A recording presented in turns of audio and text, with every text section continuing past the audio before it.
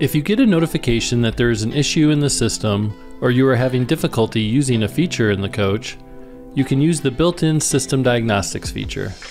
To access this feature, click on the Settings icon, navigate to System, then System Diagnostics. From here, you're able to quickly see if any feature is hindered by an issue with one of the components.